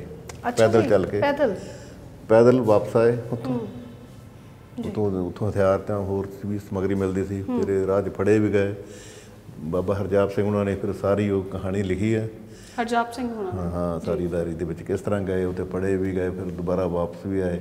ਪਰ ਜੇ ਥੋੜੀ ਜਿਹੀ ਜਿਹੜਾ ਸੈਡ ਐਪੀਸੋਡ ਸੀ ਇਸ ਨੂੰ ਦੌਰ ਉਦੋਂ ਰਾਮ ਕਿਸ਼ਨ ਬੀਏ ਜਿਹੜੇ ਸੀ ਜੀ। ਇਹ ਜਦੋਂ ਦਰਿਆ ਪਾਰ ਕਰਦੇ ਨਾ ਉੱਥੋਂ ਆਪਣੇ ਦਰਾ ਖੈਬਰ ਤੋਂ ਅੱਗੇ ਲੰਘ ਜੀ, ਜੀ। ਕੇ ਆਮੂ ਦਰਿਆ ਬਹੁਤ ਤੇਜ਼ ਵਗਦਾ। ਉਹਨੂੰ ਪਾਰ ਕਰਕੇ ਜਾਣਾ ਸੀ ਰਸ਼ੀਅਨ ਸਰਹੱਦ ਜੀ। ਤੇ ਬਾਬਾ ਤੂਤ ਹੁਣੇ ਬਾਬਾ ਚੀਨਾ ਜੀ ਇਹਦੇ ਤਰ ਨਾ ਜਾਣਦੇ ਸਨ ਤਰ ਗਏ ਨਿਕਲ ਗਏ। ਰਾਮ ਕਿਸ਼ਨ ਹੁਣੇ ਨਹੀਂ ਸੀ ਜਾਣਦੇ। ਇਹ ਤੇਜ਼ ਵਹਾਅ ਦੇ ਵਿੱਚ ਵਹਿ ਗਏ। ਵਹਿ ਗਏ ਸੀ ਤੇ ਉੱਥੇ ਇਹਨਾਂ ਦੀ ਸ਼ਹੀਦੀ ਹੋ ਗਈ ਸੀ। ਫਿਰ ਉੱਥੇ ਆਪਣੇ ਸਾਥੀ ਨੂੰ ਅਲਵਗਦਾ ਕਹਿ ਕੇ ਗਏ ਵੀ ਤੇ ਆਏ। ਫਿਰ ਬਾਕੀ ਅੱਗੇ ਨੂੰ ਤੁਰ ਪਏ ਸਨ। ਇਹ ਬੜੀ ਬਹੁਤ ਸੋਹਣੀ ਇਹਨਾਂ ਦੀ ਇੱਕ ਡਾਇਰੀ ਦੇ ਵਿੱਚ ਸਾਰੀ ਉਸ ਵੇਲੇ ਦਾ ਕਥਾ ਲਿਖੀ ਹੋਈ ਹੈ। ਇਹ ਸਾਰੇ ਬਾਬਰ ਦੀਆਂ ਫੋਟੋ ਨੇ। ਜੀ। ਔਰ ਇਸੇ ਤਰ੍ਹਾਂ ਇਹ ਲਹਿਰ ਚੱਲਦੀ ਚੱਲਦੀ ਫਿਰ ਜਿਹੜਾ ਮਾਰਸ਼ਲ ਲਾ ਲੱਗਦਾ ਪੰਜਾਬ ਦੇ ਵਿੱਚ ਜੀ। ਉਹਨਾਂ ਦਾ ਸ਼ਹੀਦ ਭਗਤ ਸਿੰਘ ਉਹਨਾਂ ਦੀ ਫਿਰ ਮੂਵਮੈਂਟ ਚੱਲਦੀ। ਕਕੋਰੀ ਕੇਸ ਸੀ ਤੇ ਕਕੋਰੀ ਜੀ, ਜੀ। ਦੇ ਵਿੱਚ ਇਹ ਉਹਨਾਂ ਸ਼ਹੀਦਾਂ ਦੀਆਂ ਨੇ ਠਾਕੁਰ ਰੋਸ਼ਨ ਸਿੰਘ ਰਿੰਦਰ ਸਿੰਘ ਅਸ਼ਫਾਕੁੱਲਾ ਰਾਮ ਪ੍ਰਸਾਦ। ਬਿਸਮਿਲ। ਰਾਮ ਪ੍ਰਸਾਦ ਬਿਸਮਲ। ਇਹ ਉਹ ਉਸ ਕਕੋਰੀ ਕਾਂਡ ਦੇ ਸ਼ਹੀਦ ਨੇ। ਜੀ। ਅੱਗੇ ਫਿਰ ਨੌਜਵਾਨ ਭਾਰਤ ਸਭਾ ਸ਼ਹੀਦ ਭਗਤ ਸਿੰਘ ਉਹਨਾਂ ਦੀ ਅਗਵਾਈ ਚੱਲਦੀ। ਜ਼ਿਆ- ਜ਼ਿਆਦਾਤਰ ਇਹਨਾਂ ਦੇ ਵਿੱਚ ਉਦੋਂ ਮੁਸਲਮਾਨ ਸਨ। ਸਾਰੇ ਸਾਰੇ ਉਸ ਵੇਲੇ ਇਦਾਂ ਦਾ ਨਹੀਂ ਸੀ। ਜੀ। ਹਰ ਧਰਮ ਦੇ ਲੋਕ ਸੀ ਪਰ ਕੋਈ ਧਰਮ ਦੇ ਨਾਂ ਦੇ ਉੱਤੇ ਕੁਝ ਨਹੀਂ ਸੀ। ਧਰਮ ਹਰ ਇੱਕ ਦਾ ਆਪਣਾ ਕੀਤਾ ਸੀ। ਸਭ ਇਕੱਠੇ ਸੀ ਸਭ ਇੱਕ ਹਿੰਦੁਸਤਾਨੀ ਸੀ। ਜੀ। ਔਰ ਆਪਣੇ ਇੱਕ ਸਾਂਝੇ ਕਾਜ਼ ਲਈ ਸਾਰੇ ਕੁਰਬਾਨੀਆਂ ਦੇ ਰਹੇ ਸੀ ਲੜ ਰਹੇ ਸੀ। ਜੀ। ਇਹ ਸ਼ਹੀਦ ਭਗਤ ਸਿੰਘ ਰਾਜਗੁਰੂ ਸੁਖਦੇਵ ਜਿਹੜੀ ਨੌਜਵਾਨ ਭਾਰਤ ਸਭਾ ਅੱਗੇ ਚੱਲਦੀ। ਸ਼ਹੀਦ ਰਾਜਗੁਰੂ। ਹਾਂਜੀ ਇਸ ਤਰ੍ਹਾਂ ਇਹ ਮਾਰਸ਼ਲ ਲਾ ਦੇ ਹੀਰੋ ਨੇ। ਜੀ। ਔਰ ਇਹ ਜਿਹੜੀ ਲਹਿਰ ਚੱਲਦੀ ਚੱਲਦੀ ਅੱਗੇ ਆਈਐਨਏ ਤੱਕ ਆਉਂਦੀ ਹੈ। ਆਈਐਨਏ ਵੀ ਉਸੇ ਲਹਿਰ ਦੀ ਇੱਕ ਅਖੀਰਲੀ ਕੜੀ ਹੈ ਜਿਹਦੇ ਵਿੱਚ ਇਹ ਜਿਸ ਤਰ੍ਹਾਂ ਸੁਭਾਸ਼ ਚੰਦਰ ਬੋਸ ਇਹਨਾਂ ਦੇ ਹੀਰੋ ਜਾਣੇ ਜਾਂਦੇ ਨੇ। ਪਰ ਇਹ ਸਭ ਤੋਂ ਪਹਿਲਾਂ ਜਿਹੜੀ ਇਹ ਬਣੀ ਸੀ ਉਹਨੂੰ ਬਣਾਉਣ ਵਾਲੇ ਜਨਰਲ ਮੋਹਨ ਸਿੰਘ ਸੀ। ਔਰ ਇਹਨਾਂ ਦੇ ਜਿਹੜੀ ਨੀਂਹ ਰਖਾਉਣ ਵਾਲਿਆਂ ਦੇ ਵਿੱਚ ਜਿਹੜਾ ਵੱਡਾ ਰੋਲ ਸੀ ਉਹ ਗਿਆਨੀ ਪ੍ਰੀਤਮ ਸਿੰਘ ਉਹਨਾਂ ਦਾ ਸੀ ਜਿਨ੍ਹਾਂ ਨੇ ਉਹਨਾਂ ਨੂੰ ਜਨਰਲ ਨੂੰ ਮਿਲਾ ਕੇ ਉਸ ਵੇਲੇ ਜਥੇਬੰਦੀ ਖੜੀ ਕੀਤੀ। ਔਰ ਇੱਕ ਜਿਹਨੂੰ ਆਜ਼ਾਦ ਹਿੰਦ ਫੌਜ ਦੇ ਨਾਂ ਤੇ ਜਾਣਦੇ ਆ ਇਹ ਸਾਰੇ। ਇੱਕ ਬੜਾ ਨਾਰਾ ਚੱਲਦਾ ਹੁੰਦਾ ਨਾ ਜਿਹੜੇ ਢਿੱਲੋਂ ਸਾਈਕਲ ਸ਼ਾਹ ਨਵਾਜ਼। ਬਿਲਕੁਲ। ਜੀ ਉਹਨਾਂ ਦੀ ਸਾਰੇ ਹੈਗੇ। ਔਰ ਇਹ ਜਨਰਲ ਮੋਹਨ ਸਿੰਘ ਜਿਹੜੇ ਉਸ ਵੇਲੇ ਪਹਿਲੇ ਇਹਨਾਂ ਦੇ ਚੀਫ ਬਣੇ ਨੇ ਇਹ ਸਾਰਾ ਇਸ ਤਰ੍ਹਾਂ ਦਾ ਸਾਡਾ ਇਤਿਹਾਸ ਚੱਲਦਾ। ਹੁੰਦਾ ਔਰ ਇਹ ਪੂਰੀ ਇੱਕ ਹਿੰਦੁਸਤਾਨ ਦੀ ਆਜ਼ਾਦੀ ਦਾ ਜਿਹੜਾ 100 ਸਾਲ ਦਾ ਇੱਕ ਇਤਿਹਾਸ ਹੈ। ਜੀ 100 ਸਾਲ ਦਾ ਇਤਿਹਾਸ। ਉਹਨੂੰ ਹੈ ਔਰ ਇਸ ਤੋਂ ਇਲਾਵਾ ਸਾਡੇ ਕੋਲ ਜਿਹੜੇ ਉਸ ਵੇਲੇ ਦੇ ਅਖਬਾਰ ਹੂੰ। ਉਸ ਵੇਲੇ ਦੇ ਡਾਕੂਮੈਂਟ ਜੀ। ਮੇਰੇ ਖਿਆਲ ਕੋਈ 1 ਲੱਖ ਤੋਂ ਵੱਧ ਪੇजेस ਨੇ ਜੀ। ਜਿਹੜੇ ਸਾਡੇ ਆਰਕਾਈਵ 'ਚ ਨੇ। ਜੀ। ਹੁਣ ਅਸੀਂ ਇਹਨੂੰ ਡਿਜੀਟਲ ਫਾਰਮ ਦੇ ਵਿੱਚ ਵੀ ਦਿੰਨੇ ਆ ਜੀ। ਅੱਜ ਦੀ ਪੀੜ੍ਹੀ ਨੂੰ ਕੋਸ਼ਿਸ਼ ਕਰਦੇ ਆ ਹਰ ਤਰੀਕੇ ਨਾਲ ਜੀ ਕਿਉਂਕਿ ਅੱਜ ਦੀ ਅੱਜ ਦੀ ਜਿਹੜੀ ਪੀੜ੍ਹੀ ਆ ਉਹਨਾਂ ਨੂੰ ਪਤਾ ਹੀ ਨਹੀਂ ਹੈ ਵੀ ਗਦਰ ਲਹਿਰ ਕੀ ਸੀਗੀ ਜਾਂ ਸਾਡਾ ਦੇਸ਼ ਕਿਵੇਂ ਆਜ਼ਾਦ ਹੋਇਆ ਇਸ ਇਸ ਸੰਸਥਾ ਦਾ ਮੇਨ ਸਾਡਾ। ਜਿਹੜਾ ਮਕਸਦ ਉਹ ਇਹੋ ਹੀ ਹੈ। ਅਸੀਂ ਉਹਨਾਂ ਨੂੰ ਜੋੜਦੇ ਆ ਹਰ ਤਰੀਕੇ ਨਾਲ ਵਿਜ਼ਿਟ ਕਰਾਉਂਦੇ ਆ ਜੀ। ਇੱਥੇ ਗਦਰੀ ਬਾਬਿਆਂ ਦੀ ਯਾਦ ਜਿਹੜਾ ਹਰ ਸਾਲ ਮੇਲਾ ਤਿੰਨ ਦਿਨ ਦਾ ਲੱਗਦਾ। ਉਹਦੇ ਵਿੱਚ ਕੁਇਜ਼ ਮੁਕਾਬਲੇ 'ਚ ਪੇਂਟਿੰਗ ਮੁਕਾਬਲੇ ਦੇ ਵਿੱਚ ਗੀਤਾਂ ਦੇ ਮੁਕਾਬਲਿਆਂ ਦੇ ਵਿੱਚ ਹਰ ਤਰੀਕੇ ਨਾਲ ਅਸੀਂ ਉਸ ਲਹਿਰ ਦੀ ਜਾਣਕਾਰੀ ਔਰ ਉਹਦਾ ਜਿਹੜਾ ਸੰਦੇਸ਼ ਹੈ ਉਹ ਅੱਜ ਵੀ ਪ੍ਰਸੰਗਕ ਹੈ। ਜੀ। ਜੋ ਮਨੁੱਖਤਾ ਦਾ ਕਲਿਆਣ ਜਿਹੜਾ ਹੈ ਉਹਦੇ ਵਿੱਚ ਹੀ। ਹੈ। ਜਿੱਥੇ ਸਭ ਬਰਾਬਰ ਹੋਣ ਕੋਈ ਵੱਡਾ ਨਹੀਂ ਕੋਈ ਛੋਟਾ ਨਹੀਂ ਕੋਈ ਉੱਚ ਨੀਚ ਨਹੀਂ ਕੋਈ ਭੇਦਭਾਵ ਨਹੀਂ ਇੱਕ ਖੁਸ਼ਹਾਲ ਸਮਾਜ ਸਾਰਿਆਂ ਦਾ ਸਾਂਝਾ ਹੋਵੇ। ਇਹੋ ਹੀ ਉਹਨਾਂ ਦਾ ਸੱਦਾ ਸੀ ਔਰ ਇਸੇ ਨੂੰ ਹੀ ਹੋਕੇ ਨੂੰ ਇਹ ਉਹਨਾਂ ਦੀ ਜਿਹੜੀ ਯਾਦਗਾਰ ਹੈ ਅੱਜ ਵੀ ਬੁਲੰਦ ਕਰ ਰਹੀ ਹੈ। ਜੀ। ਮੇਰੇ ਜ਼ਿਹਨ 'ਚ ਇੱਕ ਸਵਾਲ ਆ ਰਿਹਾ ਕਿ ਇੰਨਾ ਪੁਰਾਣਾ ਇਤਿਹਾਸ ਇੱਥੇ ਸਾਂਭਿਆ ਗਿਆ ਹੈ। ਲੋਕ ਇਹਨੂੰ ਦੂਰੋਂ ਦੂਰੋਂ ਵੇਖਣ ਵੀ ਆਉਂਦੇ ਨੇ। ਕੀ ਨੌਜਵਾਨ ਪੀੜ੍ਹੀ ਇਹਦਾ ਇਸ ਦੇ ਨਾਲ ਜੁੜ ਪਾਈ ਹੈ? ਜੁੜਦੇ ਨੇ। ਬਹੁਤ ਸਾਰੇ ਤੁਸੀਂ ਕਦੀ ਦੇਖਿਓ। ਉਹਦੀ ਦੋ ਮੈਂ ਐਗਜ਼ਾਮਪਲਾਂ ਤੁਹਾਨੂੰ ਦਿੰਨਾ ਵੀ ਇਸ ਮੇਲੇ ਦੇ ਵਿੱਚ ਜਦੋਂ ਹਾਜ਼ਰੀ ਹੁੰਦੀ ਉਹਦੇ ਸਭ ਤੋਂ ਵੱਧ ਨੌਜਵਾਨ 80% ਪੀੜ੍ਹੀ ਨੌਜਵਾਨ ਪੀੜ੍ਹੀ ਹੁੰਦੀ। ਤੀਜਾ ਉਹਨਾਂ ਦੇ ਵਿੱਚ ਜਾਣਨ ਦੀ ਜਿਗਿਆਸਾ ਸਾਡਾ ਇੱਥੇ ਬੁੱਕਸ ਫੇਅਰ ਲੱਗਦਾ ਉਦੋਂ। ਜੀ। ਔਰ ਉਸ ਬੁੱਕ ਫੇਅਰ ਵਿੱਚ ਸਭ ਤੋਂ ਵੱਧ ਜਿਹੜਾ ਲਿਟਰੇਚਰ ਵਿਕਦਾ ਹੈ ਉਹ ਗਦਰ ਲਹਿਰ ਦੇ ਨਾਲ ਸੰਬੰਧਿਤ ਹੁੰਦਾ ਸਾਰਾ। ਔਰ- ਵੱਡੀ ਗਿਣਤੀ ਦੇ ਵਿੱਚ ਉਹ ਲੋਕ ਲੈ ਖਰੀਦ ਕੇ ਲੈ ਕੇ ਜਾਂਦੇ ਨੇ ਔਰ ਪੜ੍ਹਦੇ ਨੇ। ਔਰ ਜਿਹੜਾ ਪੁਸਤਕ ਮੇਲਾ ਇੱਥੇ ਲਗਾਇਆ ਜਾਂਦਾ ਉਹ ਤਿੰਨ ਦਿਨਾਂ ਦੇ ਵਿੱਚ ਜ਼ਿਆਦਾਤਰ ਉਸ ਦੇ ਵਿੱਚ ਨੌਜਵਾਨ ਹੀ ਬਹੁਤ ਆਉਂਦੇ ਨੇ ਔਰ ਹਾਂਜੀ ਨੇ। ਜਾਣਦੇ ਨੇ ਔਰ ਪੜ੍ਹਦੇ ਨੇ ਖਰੀਦਦੇ ਨੇ। ਔਰ ਵੱਡੀ ਗੱਲ ਹੈ ਵੀ ਇਹਨਾਂ ਦੇ ਕੱਲਾ ਹੁਣ ਕੱਲਾ ਇੱਥੇ ਦੇਸ਼ਪਤ ਹਾਲ ਹੀ ਨਹੀਂ ਮੇਲਾ ਲੱਗਦਾ। ਜੀ। ਜਿੰਨੇ ਵੀ ਗਦਰੀ ਹੋਏ ਸ਼ਹੀਦ ਹੋਏ ਨੇ ਉਹਨਾਂ ਦੇ ਪਿੰਡਾਂ 'ਚ ਵੀ ਲੱਗਦੇ ਨੇ। ਅੱਛਾ ਜੀ। ਔਰ ਕੈਨੇਡਾ ਅਮਰੀਕਾ ਅਮਰੀਕਾ ਵਿੱਚ ਵੀ ਲੱਗਦੇ ਨੇ ਜਿੱਥੋਂ ਇਹ ਆਏ ਸੀ ਪਾਰਟੀ ਬਣਾ ਕੇ। ਔਰ ਇਹ ਜਿਹੜਾ ਅੱਜ ਇਸ ਲਹਿਰ ਦੀ ਜਿਹੜੀ ਪ੍ਰਸੰਗਕਤਾ ਇਹ ਹੈਗੀ ਵੀ ਇਹਨੂੰ ਇਹ ਦੂਜੇ ਮੁਲਕਾਂ ਵਿੱਚ ਵੀ ਜਿੱਥੇ ਨਾਮ ਬਰਾਬਰੀਆਂ ਹੈ ਨੇ ਉਹ ਵੀ ਆਪਣੀ ਯੂਥ ਨੂੰ ਜੀ। ਹੁਣ ਮੈਂ ਪਿੱਛੇ ਅਮਰੀਕਾ ਗਿਆ ਸੀ ਉੱਥੇ ਆਰਗਨ ਸਟੇਟ ਦੇ ਵਿੱਚ ਯੂਨੀਵਰਸਿਟੀ ਦੇ ਸਿਲੇਬਸ ਦੇ ਵਿੱਚ ਉਹਨਾਂ ਨੇ ਗਦਰ ਪਾਰਟੀ ਦਾ ਇਤਿਹਾਸ ਲਾਇਆ ਹੋਇਆ। ਇਹ ਇੱਕ ਇਹੋ ਜਿਹੀ ਪਾਰਟੀ ਸੀ ਜਿਹਨੂੰ ਅਸਲ ਮੈਨੇ 'ਚ ਸਰਬੱਤ ਦਾ ਭਲਾ ਮੰਗਣ ਵਾਲੀ ਸੀ। ਇਹਨਾਂ ਨੇ ਸਾਰੀ ਦੁਨੀਆ ਦੇ ਵਿੱਚ ਗੱਲ ਹਿੰਦੁਸਤਾਨ ਸਾਰੀ ਦੁਨੀਆ 'ਚ ਕਿਹਾ ਸੀ ਕਿ ਬਰਾਬਰੀ ਹੋਣੀ ਚਾਹੀਦੀ ਹੈ। ਇਹ ਸਾਰੇ ਕੋਈ ਖੁਸ਼ਹਾਲੀ ਹੋਣੀ ਚਾਹੀਦੀ ਹੈ ਬਰਾਬਰੀ ਹੋਣੀ ਚਾਹੀਦੀ ਹੈ। ਔਰ ਇੱਕ ਜਾਪਾਨ ਦੀ ਯੂਨੀਵਰਸਿਟੀ ਉਹਨਾਂ ਦੇ ਸਕਾਲਰ ਆਏ ਸੀ ਤੇ ਸਾਰਾ ਗਦਰ ਪਾਰਟੀ ਦਾ ਇਤਿਹਾਸ ਨੂੰ ਉਹ ਇੱਥੋਂ ਲੈ ਕੇ ਸਾਡੇ ਕੋਲ ਗਏ ਨੇ ਮਟੀਰੀਅਲ। ਔਰ ਉਹਨਾਂ ਨੇ ਆਪਣੀ ਲੈਂਗੁਏਜ ਜੈਪਨੀਜ਼ ਲੈਂਗੁਏਜ ਦੇ ਵਿੱਚ ਕਿਤਾਬ ਛਾਪ ਕੇ ਯੂਨੀਵਰਸਿਟੀ ਸਿਲੇਬਸ ਲਾਈ ਜੀ ਇਸ ਤੋਂ ਇਲਾਵਾ ਤੁਸੀਂ ਇੱਕ ਹੋਰ ਕਿੱਸਾ ਸਾਂਝਾ ਕੀਤਾ ਸੀਗਾ ਕਿ ਜਿੱਥੇ ਵੱਡੀ ਗਿਣਤੀ ਦੇ ਵਿੱਚ ਜਿਹੜਾ ਕਾਲੇ ਖੂਹ ਦਾ ਖੂਹ ਦਾ ਜਿਹੜਾ ਸਮਾਨ ਹੈ ਉਹ ਕਿੱਥੇ ਮੌਜੂਦ ਹੈ? ਅਜਨਾਲਾ ਅਜਨਾਲੇ ਉਸੇ। ਸੇਮ ਜਗ੍ਹਾ ਤੇ ਉਸੇ ਜਿੱਥੇ ਘਟਨਾ ਵਾਪਰੀ ਸੀ। ਤਹਿਸੀਲ ਦੇ ਵਿੱਚ ਹੁਣ ਉਹ ਯਾਦਗਾਰ ਬਣ ਗਈ। ਪਹਿਲਾਂ ਫੌਜੀ ਛਾਉਣੀ ਨਾਲ ਸੀ ਉੱਤੇ ਔਰ ਤਹਿਸੀਲ ਸੀ। ਉਹ ਤਹਿਸੀਲ ਦਾ ਵਿੱਚ ਜਗ੍ਹਾ ਉਹ ਪੂਰੀ ਯਾਦਗਾਰ ਬਣੀ ਹੋਈ ਉੱਤੇ ਸਾਰਾ ਕੁਝ ਪਿਆ ਹੋਇਆ। ਜੀ ਗੁਰਮੀਤ ਜੀ ਬਹੁਤ ਬਹੁਤ ਸ਼ੁਕਰੀਆ। ਬਹੁਤ ਚੰਗਾ ਲੱਗਾ ਤੁਹਾਡੇ ਨਾਲ ਗੱਲ ਕਰਕੇ ਕਿ ਤੁਸੀਂ ਸਾਨੂੰ ਹਿੰਦੁਸਤਾਨ ਦੇ ਇਤਿਹਾਸ ਦੇ ਨਾਲ ਜਾਣੂ ਕਰਵਾਇਆ। ਗਦਰ ਪਾਰਟੀ ਦੇ ਜਿਹੜੇ ਅਸਲ ਭਾਵਨਾ ਹੈ। ਬਿਲਕੁਲ। ਔਰ ਇਹ ਜਿਹੜਾ ਅੱਜ ਵੀ ਇਹ ਪ੍ਰਸੰਗਕ ਹੈ। ਔਰ ਮਨੁੱਖਤਾ ਦਾ ਕਲਿਆਣ। ਜੀ। ਇਸੇ ਵਿੱਚ ਹੀ ਹੈ ਕਿ ਜੋ ਗਦਰੀਆਂ ਨੇ ਸਾਨੂੰ ਰਾਹ ਦੱਸਿਆ ਸੀ ਅਸੀਂ ਉਸ ਮੰਜ਼ਿਲ ਨੂੰ ਪ੍ਰਾਪਤ ਕਰੀਏ। ਔਰ ਇਸ ਇਕੱਲੇ ਮੁਲਕ ਨੂੰ ਹੀ ਨਹੀਂ ਪੂਰੇ ਸੰਸਾਰ ਨੂੰ ਖੁਸ਼ਹਾਲ ਬਰਾਬਰੀ ਵਾਲਾ ਤੇ ਸੋਹਣਾ ਬਣਾਈਏ। ਜੀ ਬਹੁਤ ਬਹੁਤ ਸ਼ੁਕਰੀਆ ਜੀ। ਸੋ ਇਹ ਸੀਗੇ ਸਾਡੇ ਨਾਲ ਗੁਰਮੀਤ ਸਿੰਘ ਜੀ ਜਿਨ੍ਹਾਂ ਨੇ ਅ, ਸਾਨੂੰ ਇਸ ਇਤਿਹਾਸ ਬਾਰੇ ਦੱਸਿਆ ਕਿ ਕਿਸ ਤਰੀਕੇ ਦੇ ਨਾਲ ਉੱਥੇ ਅ, ਤਸ਼ੱਦਦ ਹੁੰਦਾ ਸੀਗਾ ਕਿਸ ਤਰੀਕੇ ਦੇ ਨਾਲ ਅ, ਦੇਸ਼ ਨੂੰ ਆਜ਼ਾਦੀ ਮਿਲੀ ਕਿਸ ਤਰੀਕੇ ਦੇ ਨਾਲ ਗੱਦਰੀ ਬਾਬੇ ਜੇਲ੍ਹਾਂ ਦੇ ਵਿੱਚ ਪਹੁੰਚੇ ਸਨ ਕਿਹੜੀ ਉਮਰ ਦੇ ਵਿੱਚ ਪਹੁੰਚੇ ਸਨ ਤੇ ਬਾਬੇ ਬਣ ਕੇ ਉਦੋਂ ਬਾਹਰ ਆਏ ਸਨ ਮੈਨੂੰ ਲੱਗਦਾ ਹੈ ਕਿ ਅੱਜ ਦਾ ਪ੍ਰੋਗਰਾਮ ਤੁਹਾਨੂੰ ਜ਼ਰੂਰ ਪਸੰਦ ਆਇਆ ਹੋਵੇਗਾ ਔਰ ਬਹੁਤ ਸਾਰੀਆਂ ਅ, ਚੀਜ਼ਾਂ ਤੋਂ ਅਸੀਂ ਜਿਹੜਾ ਤੁਹਾਨੂੰ ਜਾਣੂ ਕਰਵਾਇਆ ਉਹ ਤੁਹਾਨੂੰ ਪਸੰਦ ਆਈਆਂ ਹੋਣਗੀਆਂ ਅੱਜ ਦੀ ਪੇਸ਼ਕਸ਼ ਦੇ ਵਿੱਚ ਇਹਨਾਂ ਦੇਖਦੇ ਰਹੋ ਦੈਨਿਕ ਸਵੇਰਾ ਟੀਵੀ ਸਤਿ ਸ਼੍ਰੀ ਅਕਾਲ देश दुनिया की हर खबर सबसे पहले देखने के लिए फॉलो करें Dainik Savera TV YouTube Facebook Instagram X और व्हाट्सएप चैनल पर।